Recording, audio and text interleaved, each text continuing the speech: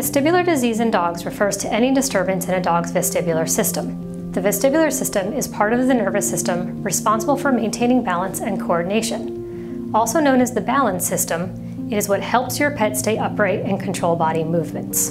When the vestibular system is not working, it causes symptoms such as a wobbly, drunken walk, leaning, falling, or rolling to one side, abnormal eye movements, and abnormal eye positions.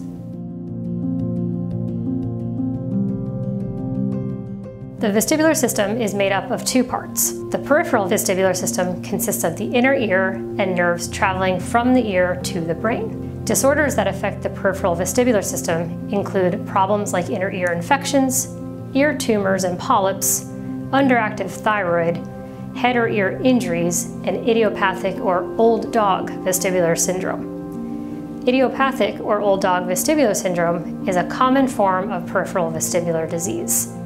Idiopathic means there is no known cause that can be identified even with advanced diagnostic testing. It typically happens in older dogs and comes on suddenly.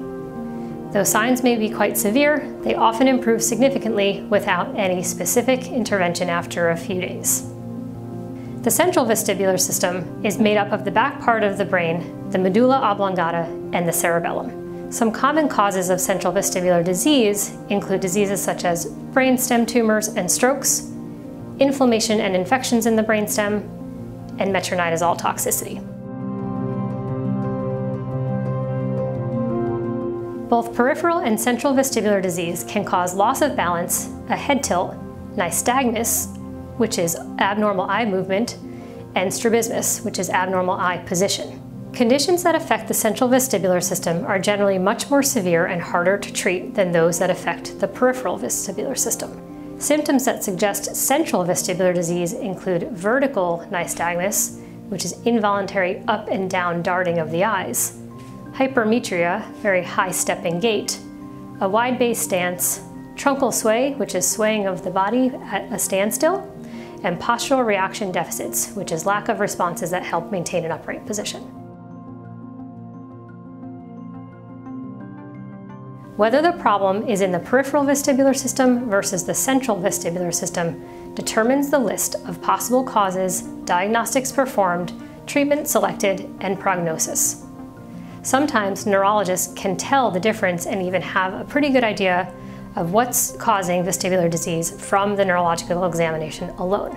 However, an accurate diagnosis is only achieved through advanced diagnostic testing.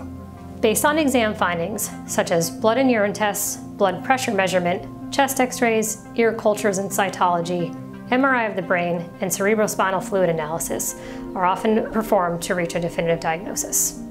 MRI is the best way to see what's going on within the vestibular system.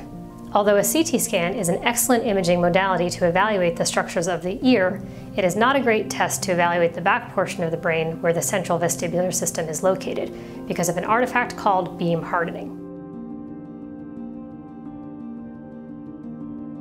Possible treatment options depend on the reason for the vestibular disease, so it's extremely important to work with a veterinary neurologist to find the cause.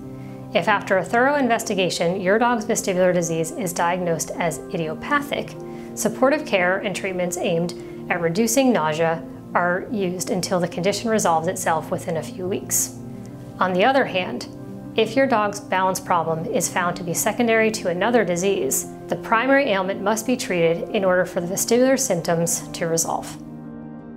Vestibular disease in dogs can be very distressing to both the pet and the pet parent, so achieving a diagnosis and initiating treatment in a timely manner is essential.